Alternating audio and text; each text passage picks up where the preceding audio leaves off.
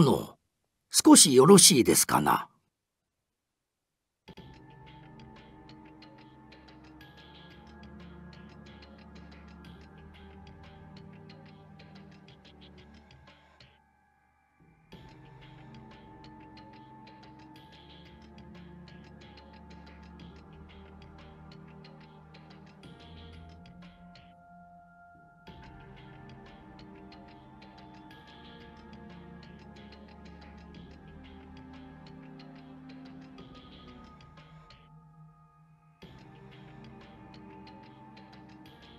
こんな夜中に一体何の用だ？実はですなご奉行の一人真下長森から書状が届いておりまして。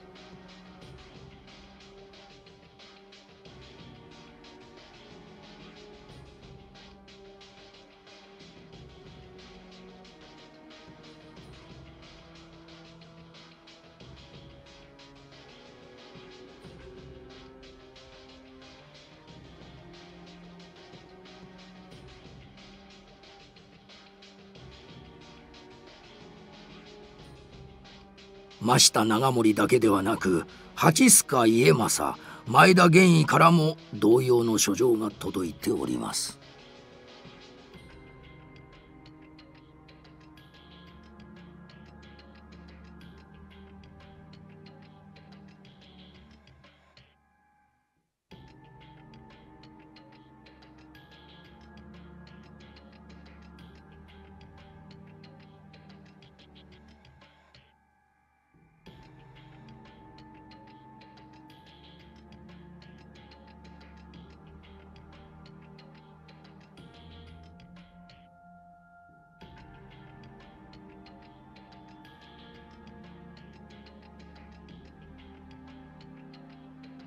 この書状の内容がまことであれば上方まで引き返すべきではないか。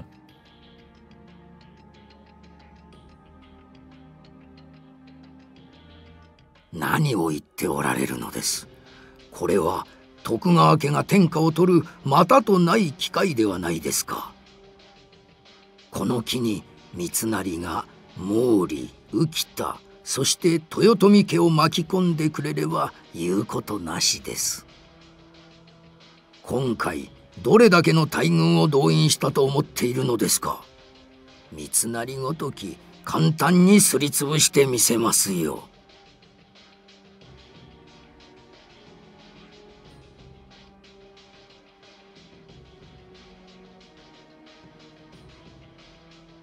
お前は戦というものを分かっておらん。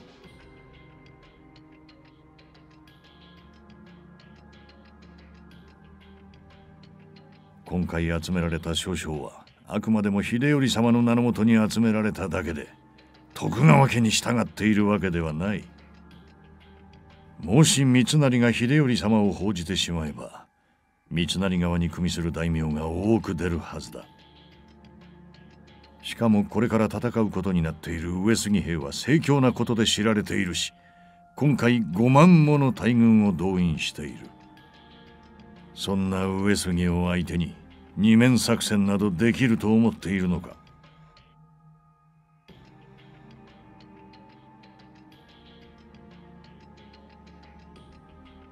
一人の兵が10人分100人分の働きをすれば問題ないでしょう。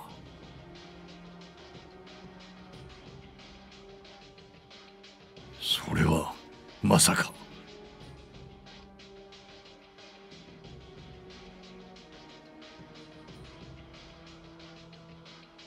あれは絶対に使ってはならん。太閤殿下も使い物にならんと言っていた薬だぞ。薬を飲ませたところですぐに体の方が持たなくなり絶命してしまう。そうでしょうな。普通の人間に与えれば。ですが人間より強靭な肉体を持った者に与えればどうでしょう。何だと？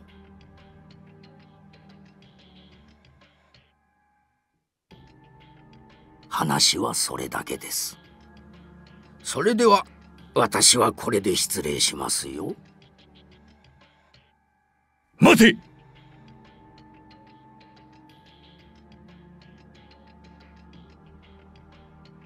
おっとそこまで。ここから先はお前が立ち入るべきじゃないよお飾りさん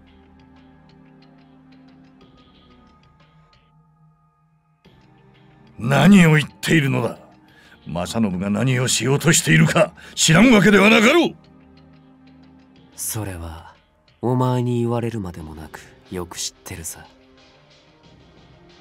ま古いものが生まれ変わるためには多少の犠牲はつきものですしね。何だと？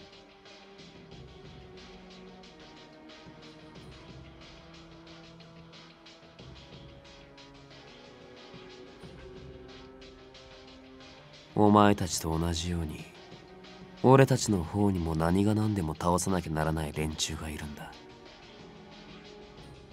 古い時代の決まりにしがみつき保身ばかりに固執する頭の腐りきった連中をな。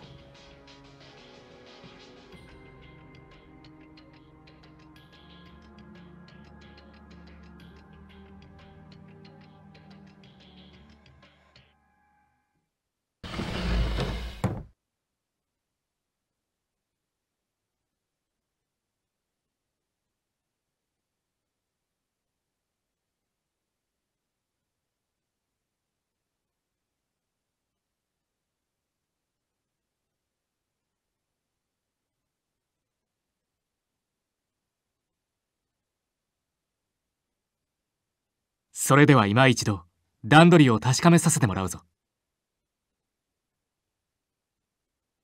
俺が城内に侵入し兵たちを引きつける。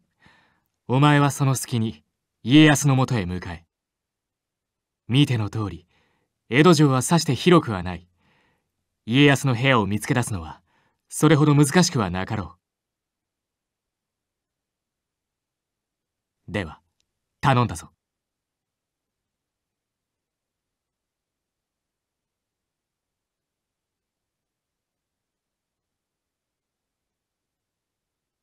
どうした？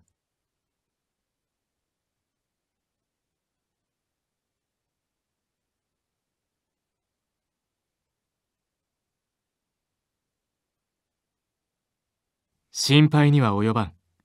こう見えても比嘉の実力桜井は見極められるつもりだ。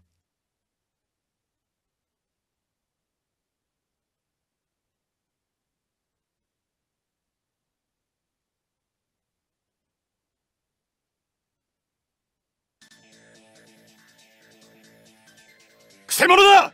出会え出会え。あの化け物証拠りもなく殿を騙そうとしておるのか。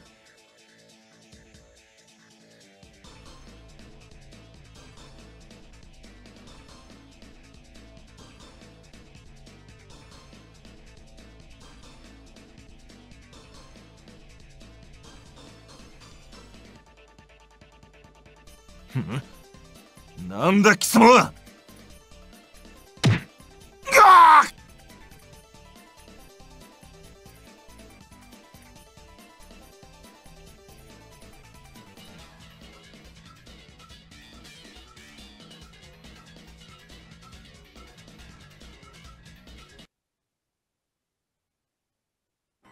前は確か。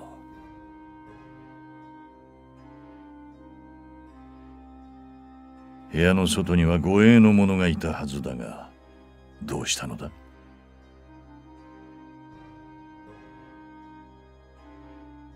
なるほど。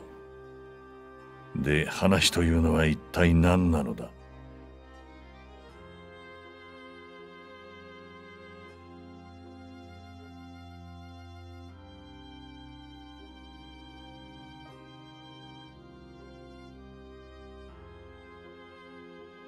さてその前にこちらも確認したいことがある。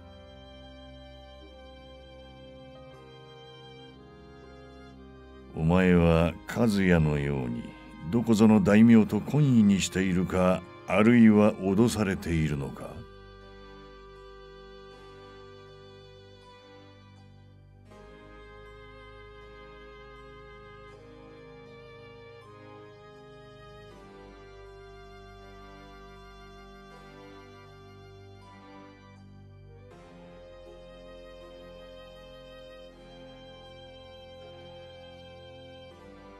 和也と同じ。嘘を言わぬ瞳だな。信じるぞ。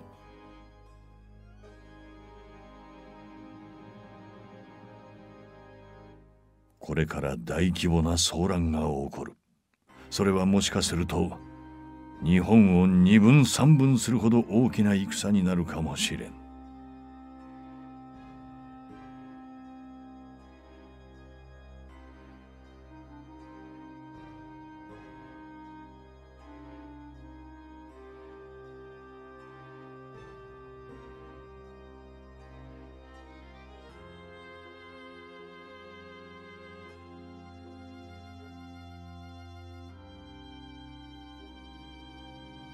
そうではない。会津での戦とは別にもう一つ大きな戦が起ころうとしているのだ。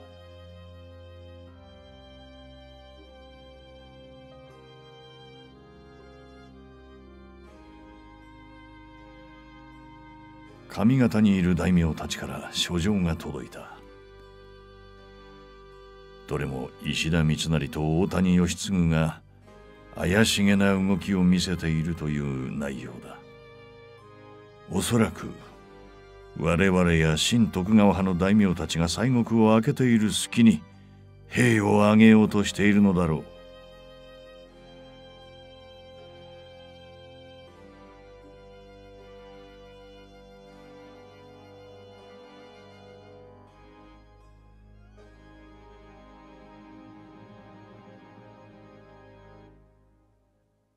一人の兵が10人分100人分の働きをすれば勝てる可能性がなくもない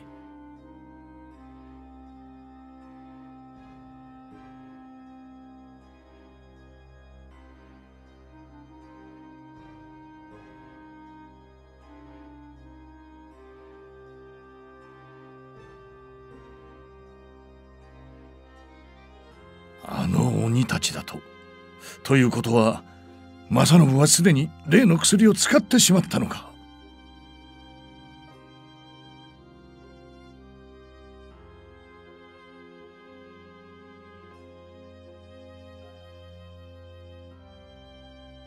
太閤殿下はかねてよりどんな人間でも避け得ぬもの老いと死を克服する方法を探していた。お前も知っているかもしれんがあの方は親族との縁が薄く後継者になかなか恵まれなかったからな。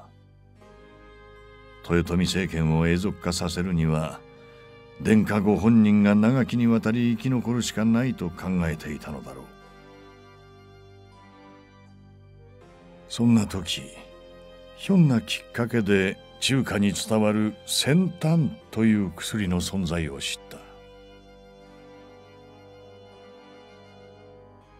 真の始皇帝が求めたとされている薬だ。それを飲んだ者は永遠の命を得ることができるという。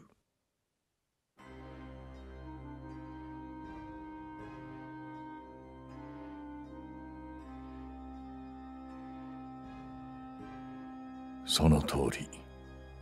先端を手に入れるというのも目的の一つだったのだ。そして朝鮮に渡海した武将たちは不思議な薬の存在を知った。朝鮮軍の増援に駆けつけた明の兵が使っていたものだ。それを飲んだ者は筋骨たくましく勇猛果敢となり死を恐れずに死ぬまで戦ったという。だがそれもつかの間のこと。すぐに強い毒性に体を蝕まれやがては絶命してしまったとのことだ。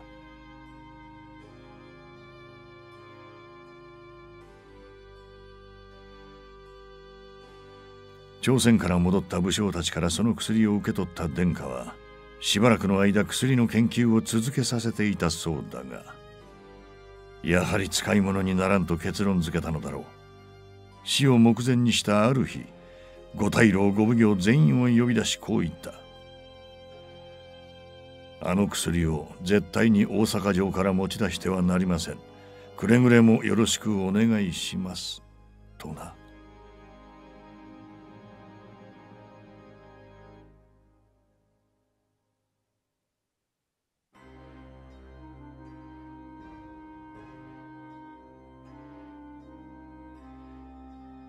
だがあの薬の効能を目にして密かに考えた者がいた人間の体では耐えられん薬でも人間より強靭な肉体を持った者なら耐えられるのではないかとな。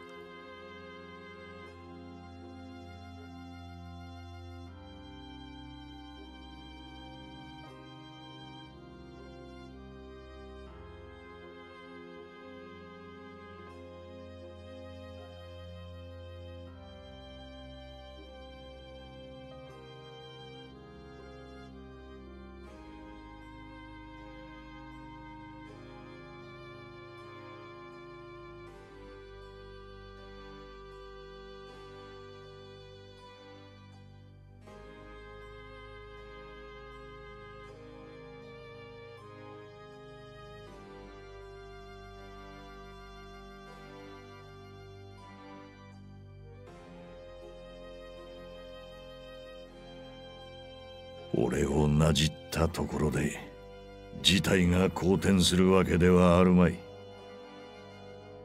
それよりもどうすれば被害を最小限に抑えることができるかを考えるべきではないのか。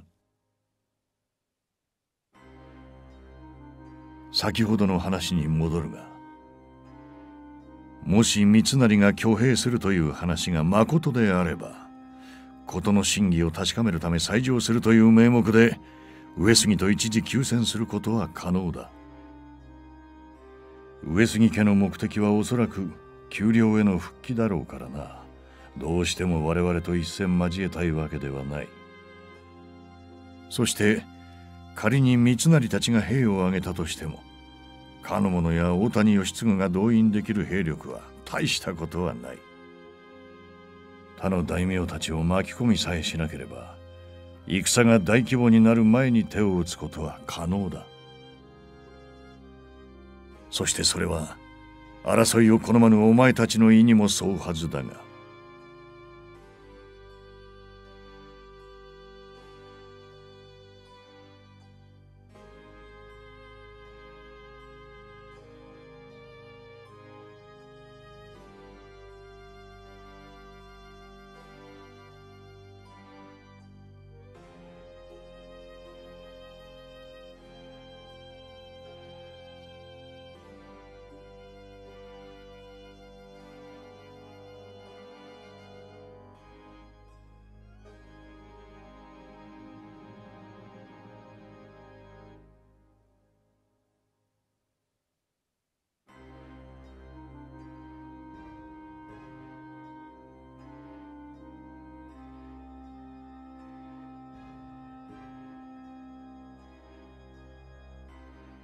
家臣が必ずしも主君の意に沿う行動をとるわけではない。正信にせよ他の家臣たちにせよ仕えている相手はあくまでも徳川の家そのものだ。この俺に仕えているわけではない。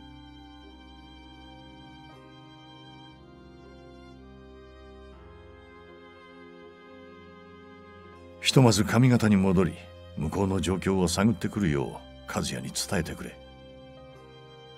今は少しでも信頼できる情報が欲しいところだからな。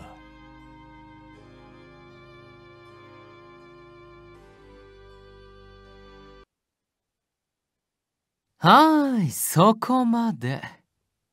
髪型で一体何を調べさせるつもりなのかな。せっかく徳川家臣団一丸となってお前に天下を取らせてあげようとしてるところだっていうのに。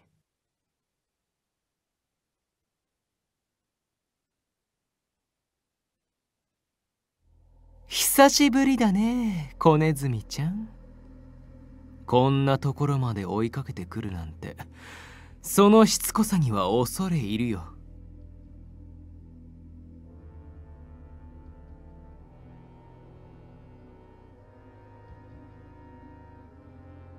余計なことを喋ったら首が飛ぶってことは散々聞かされてるはずだよねどこも徳川家にとって必要なのはお前の名前だけなんだおかしな真似をすると信康の時みたいなことになるかもしれないよ。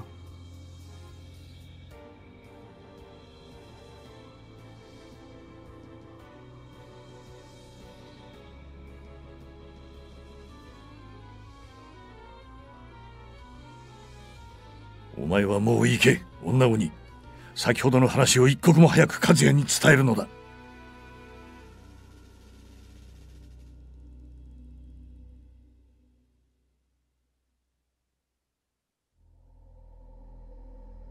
行けと言っているのだ。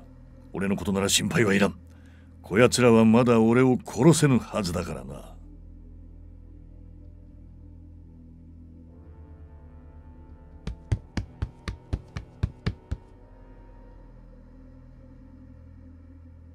逃がすとでも思ってるの？罠にかかったネズミみたいにじわりじわりと殺してあげるよ。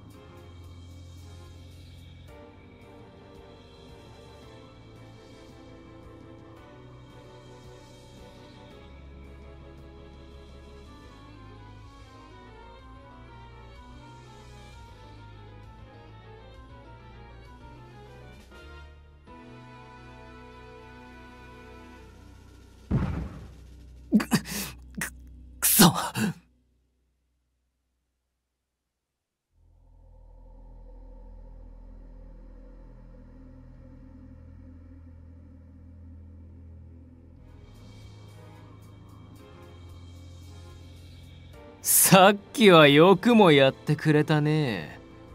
寛大な俺でもあれにはさすがにちょっとイラッときちゃったよ。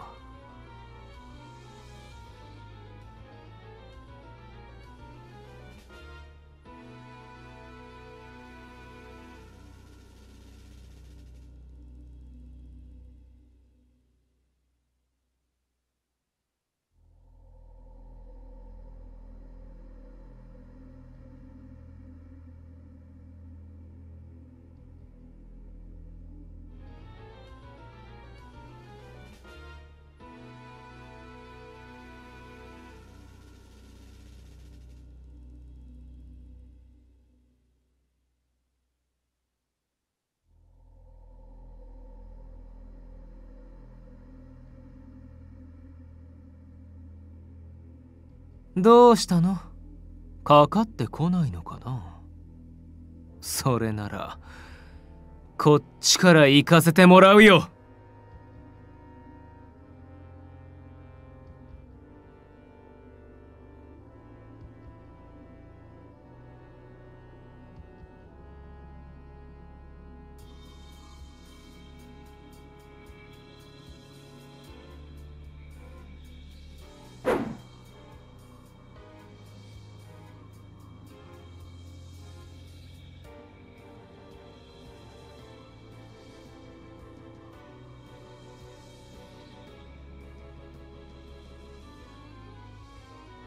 見えない力を使うと思ったのかな？違うんだなそれが。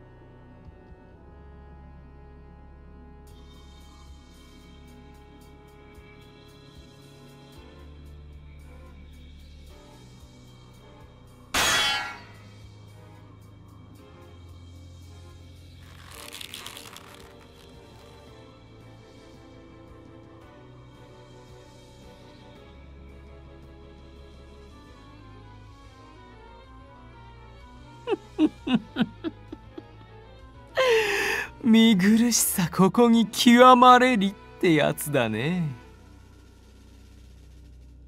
雲が獲物を捕まえるところって見たことあるかな？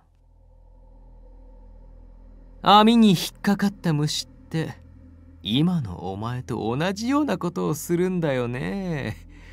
ジタバタみっともなくもがいてさ。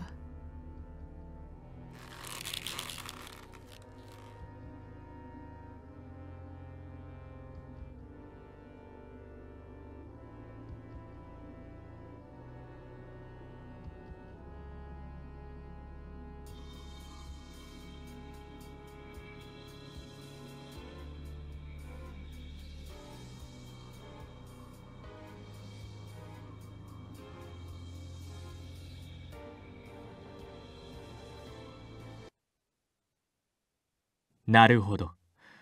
お前の獲物は糸か。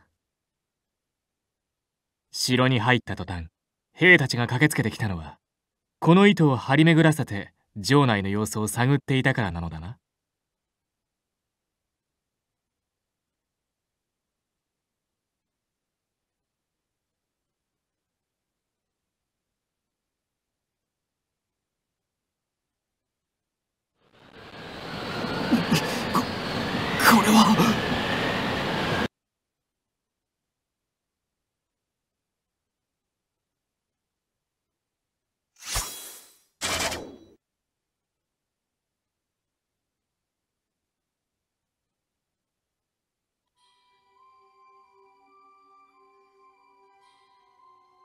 怪我はないか。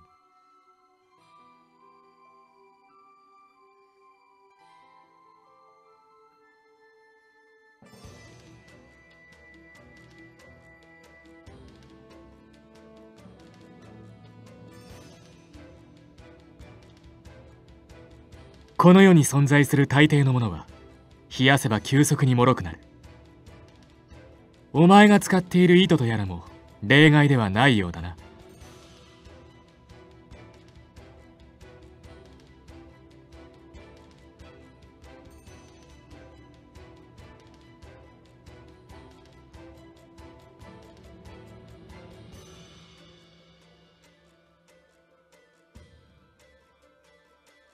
やれやれ。勝ち誇っちゃって。この俺の獲物を見抜いたからってどうだって言うんだろうね。この状況で勝利できると思うのか？ああ勝てるよ。お前たちが見落としてることが一つあるからね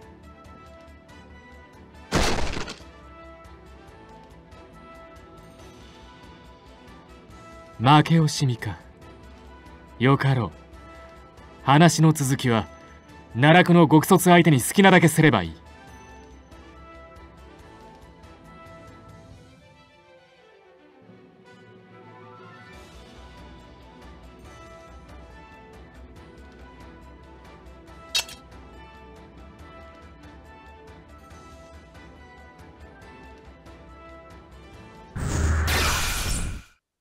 動くな。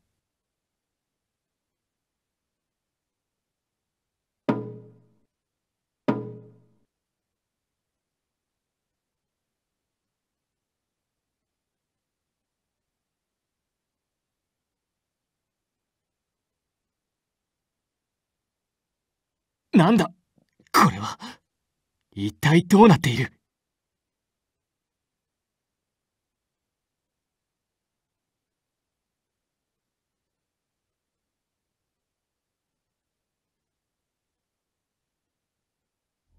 そうそのまま。俺たちが無事にここから離れるまでお前たちはその場を動けない。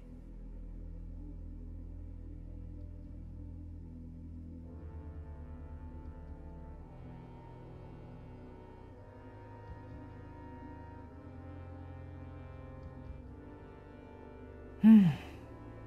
危機一髪って感じだね。恩に着るよ。やっぱり持つべきものは仲間ってことかな。城の中に戻るぞ八千代。正信が今後のことを戦議したいらしいからな。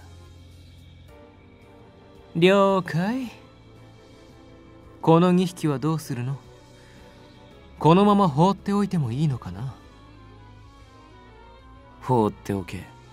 今から上方に行ったところで何ができるわけでもない三成が兵を挙げるのは確実らしいからな。なるほど。せっかくだからこいつらに髪型の状況を直に見てもらってとことん絶望させたいってことなのかな。分かってたことだけどあのじいさん俺たち以上に鬼畜生だよね。ってことで2匹のネズミちゃんはのんびり髪型旅行でも楽しんできてね。今更できることなんて何もないんだからさ。待て！